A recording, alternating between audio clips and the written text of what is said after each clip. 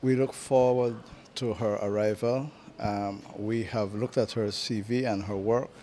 She is um, an experienced diplomat. Most people regard her as a sportswoman, as a medalist, and as a skier. But in fact, she has a tremendous amount of experience in diplomacy.